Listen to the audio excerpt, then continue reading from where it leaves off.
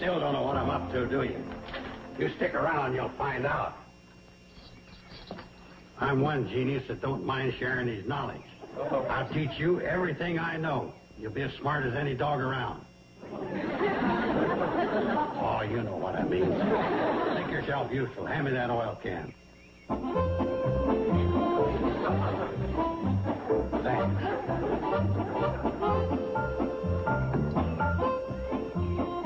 Big help you are. You bit holes in it.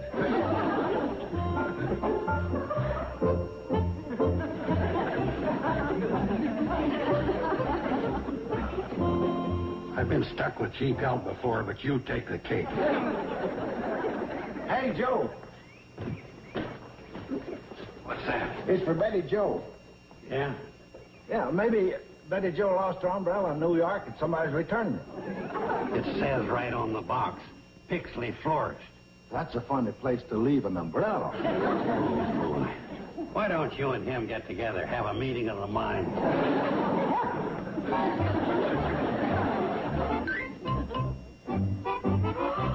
Oh, Mom, look. Oh, they're gorgeous. Oh, beautiful. Who are they from? Oh, that's funny. From an admirer. Is that all? Pretty expensive admiring. Pixley Florist. Maybe they're from Peter Fuller. He lives in Pixley. These? From Peter? I doubt it. Last time I went out with him, I had to go Dutch treat. And that included gas for his car and a new fuel pump. Yeah, none of these yahoos around here could even afford the stems, let alone the flowers. Well, that must be it. They must have been wired from another city. What of the men you met in New York? I didn't meet that many men. Well, it only takes one. I can't imagine who. Well, start thinking. Whoever he is, this dude must be loaded with loot. And I suppose that's a reason for Betty Jo to go for him? Kate, I was never one to let a pile of money stand in the way of romance. Let's put these in water before Dan Cupid starts wearing a money belt instead of a diaper.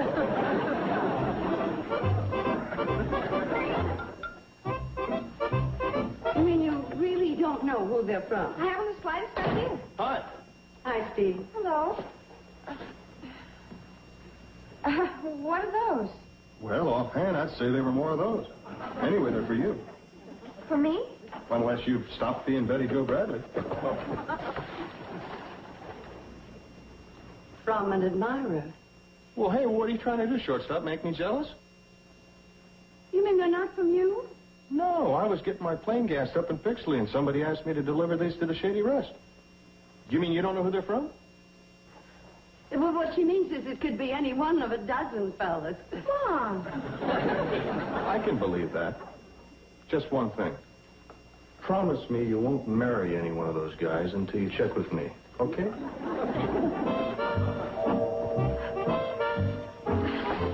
Mary. He's such a tease. What makes you think he was teasing? Huh? Well, he was right about one thing. Somebody is giving you a big rush.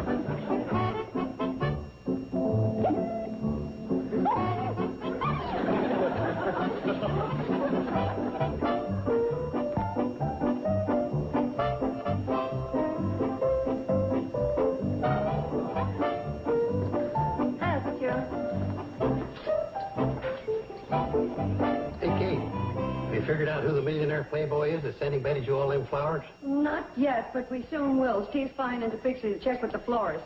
If it was me, I'd hire a whole fleet of detectives.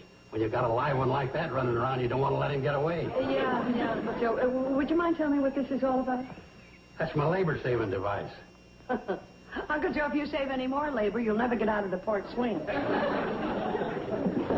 I've had a lot of brainstorms in my time, but this is sheer genius. I'm running a system down to the Shady Rest stop, so you don't have to haul the guest baggage back and forth. All you do is hang a bag on this cable, and away she goes. Yeah, well, I can understand how you get the luggage down to the cannonball. It's downhill. How you going to get it up here?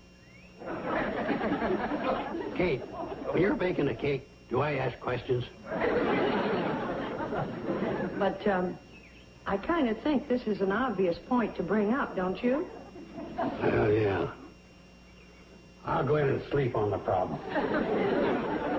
It's amazing how he can work a nap into any situation. Hi, Miss Bradley. Hi, Eb. Boy, this is a break finding you alone like this because I got to talk to you about something real important. Oh, well, pull up a chair. Thanks. Uh, Miss Bradley, I've come to talk to you about one of your daughters. Well, I must say you picked a good subject. Uh, Miss Bradley, I don't know whether you know it or not, but I've always been sort of fond of Betty Jo. Well, I knew you once were, but I thought that had blown over. It did, but ever since Betty Jo came back from her vacation, she sort of, well, turned me on again. That's real hip talk. Hip talk from the heart. She's changed. You noticed it, too? I couldn't help notice it because she's been hip talk from the heart. Say, that's good. Thank you. Ever since her vacation, she's become a sophisticated young lady, and that's the whole point. Point of what? Well, just between me and you, up to now, I always thought I was a little too suave for Betty Jo. You know, worldly, debonair. But now you feel that she's caught up with you. Exactly. And here's why I've come to talk to you. I've reached the point in life where I can do something about going with a girl for keeps because I've got a new job. Oh, congratulations. Where are you working? On my off hours from the Douglases, I work for Mr. Harvey at the Pixley Florist. Pixley Florist? Yeah, ain't that neat? yeah, it's neat. Um, uh, isn't that the place where they send out the flowers in those fancy boxes? Yeah, real ritzy. Yes? Ma'am? By any chance, you don't happen to be the secret admirer? That's me. Pretty clever, huh? Brother? But Eb, aren't those flowers very expensive? No. Take those long stem roses. They were supposed to go to the Pixley Hospital, but the patient didn't pull through, and Mr. Harvey let me have them for half price. Pretty lucky, huh? Luckier than the patient.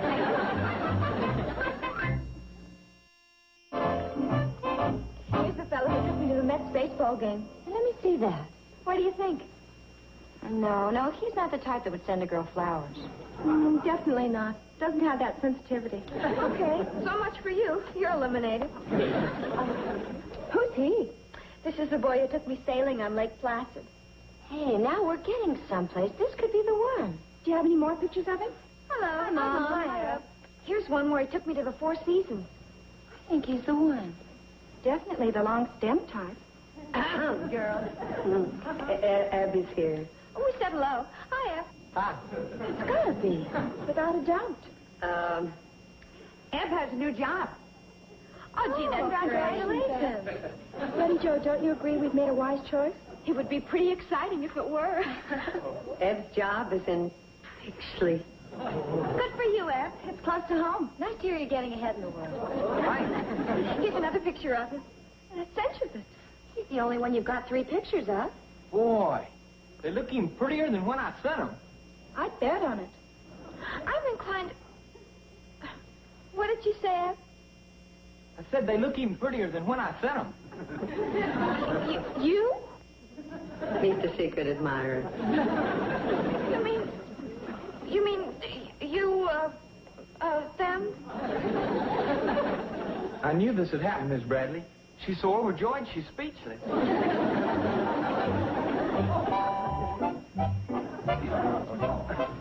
Betty Jo, I ain't gonna beat around the bush any longer. From this moment on, you and me have passed the handshaking stage. I'm serious. We got a humdinger of a future together. Eb, please. I'm on my way up, and you're just the little woman I want at my side. Besides my Douglas job and the one at the florist, I'll be moonlighting at the cannery. Three jobs? Well, that wouldn't leave us much time together. I got me a schedule. I can work in between 11.10 and 11.45 p.m. I, I admire your being so ambitious. Don't fight it, Betty Jo. Uh, now, Eb. Holy cow. What? I just remembered. Mr. Harvey told me to turn on the refrigeration for the tropical flowers, and I plumb forgot. Oh, that's terrible. No, there's a bright side to everything. How'd you like a corsage of brown orchids?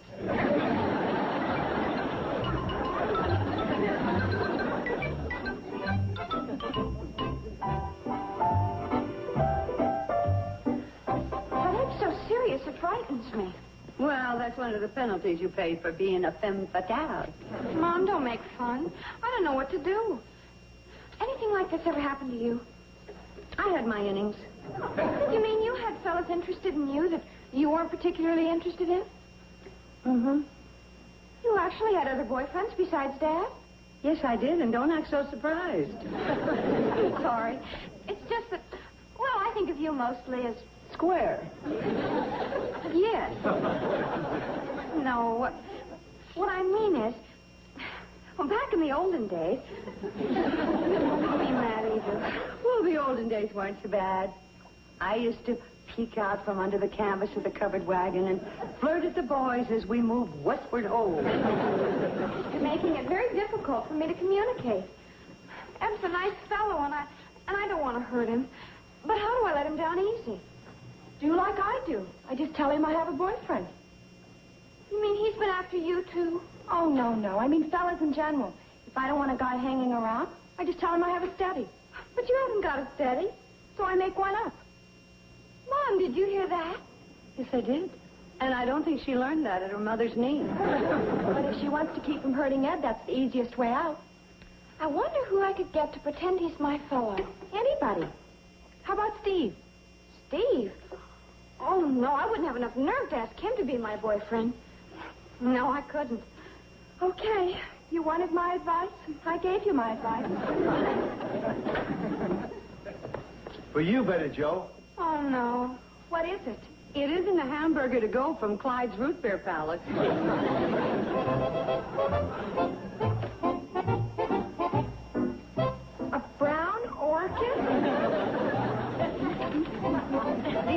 Joe, after today, I'm convinced more than ever that you're the girl for me.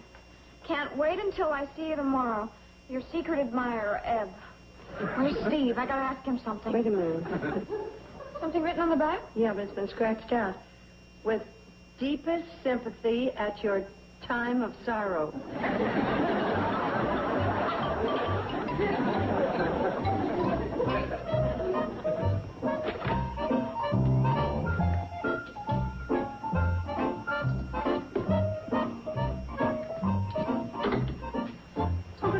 Doing now? Hey, Kate, you know the problem he was worried about? Getting a luggage back up here? Got her all solved. Every time the cannonball comes in, me and Floyd just raise the post at the other end. well, there comes the cannonball now. Hang around, witness my first trial run. Well, I don't think we'll have much occasion to send empty suitcases down to the cannonball. Uh, unless we have some awful poor guests. Way ahead of you, Kate. I got it all worked out.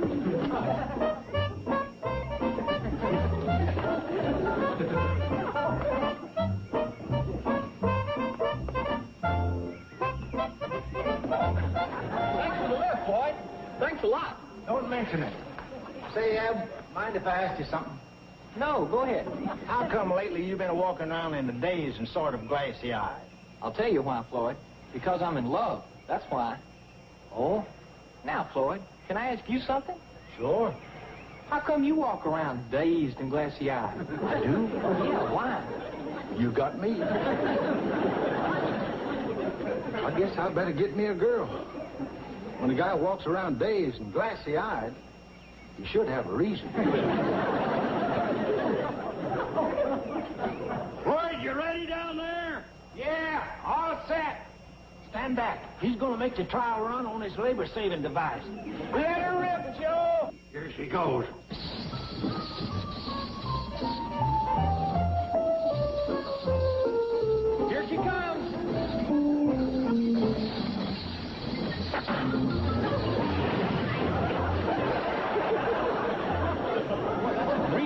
Real labor-saving device. You don't even have to lift the luggage into the baggage car. Sounded like she made it all right. Oh, she made it all right. Now go on down and help Floyd put the cannonball back on the track.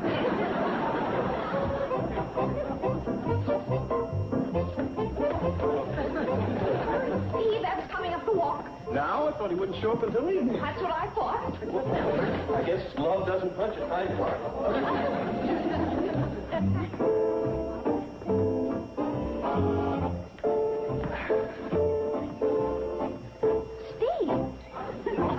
make this pretending look as real as possible. Howdy. Hi, Eb. You know Steve here. Sure. Don't get up. Eb, I wasn't expecting you until this evening. I didn't expect myself until then either. But to tell you the truth, Betty Jo, I just couldn't stay away from you that long. I don't know how to say this, but I've already got a steady A steady what? boyfriend. You have? Who? Steve here. You? Yeah, me. Oh, darn it. No, by golly. Get up. Huh? You heard me. Get up. Okay. Now, Eb! you stay out of this, Betty Jo. This is the only way we can settle this. Come on, you. Well, Hold on now, Eb. I don't want to fight. Well, you're gonna have to.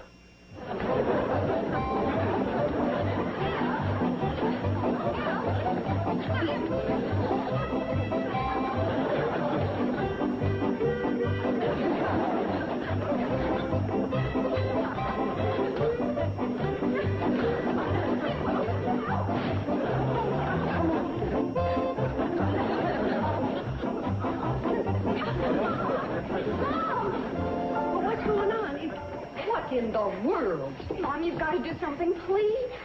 Your little plot backfired, huh? all right, all right. What's going on here? Oh, hi, Miss Bradley. We're fighting. F, now you stop it and come with me. But Miss Bradley, F. don't forget where we left off.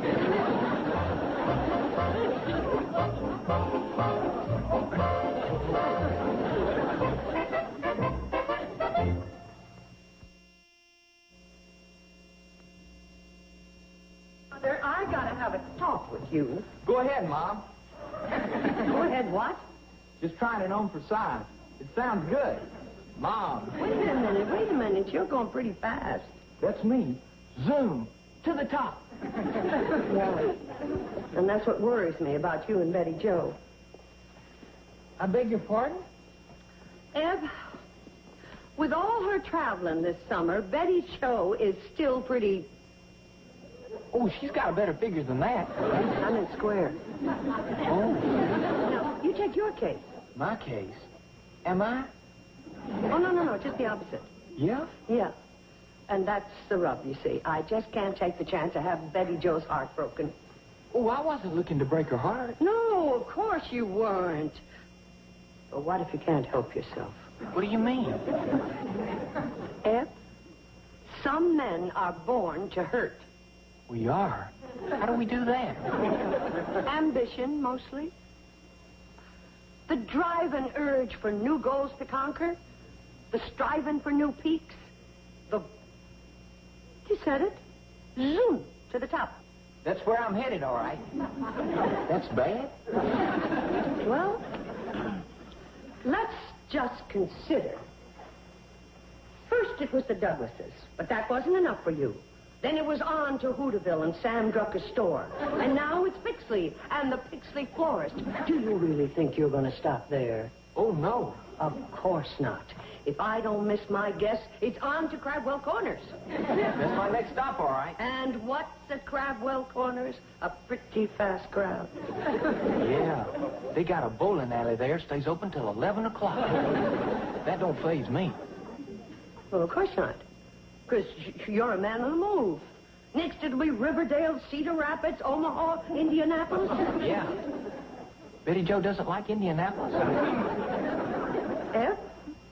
Betty Jo won't like any of it. Regardless of the fact that you think you see a change in her, she just isn't ready for your life. You mean she's reached her peak? Let's just say he travels fastest who travels alone. Golly. Excuse me, Miss Bradley. Oh, sorry. I gotta get things straight with Betty Jo before she gets her hopes all built up. It was a good cause. It's okay, kid. You're safe. That's okay. Betty Jo, I guess the best way to do this is quick and fast. It's all off between us. It is? I wouldn't be good for you. I'd be too much too soon. Too much? There, there, little girl. You'll get over it in time. Be good to her, fella.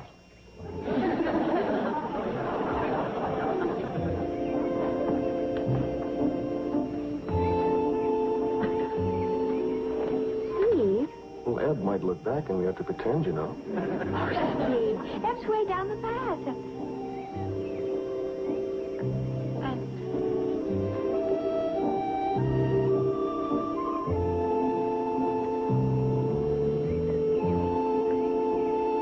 Steve Elliott, do you always pretend like this? Who says I was pretending?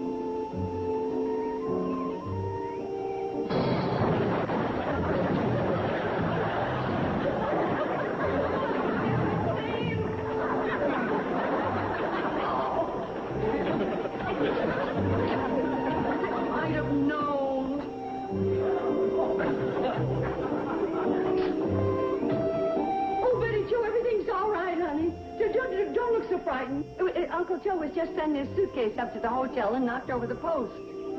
What suitcase? What post?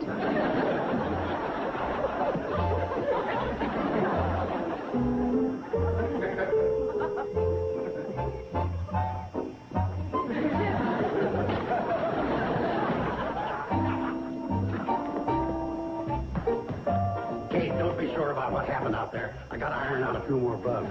Forget it, Uncle Joe. Right now, it's not bugs I'm worried about.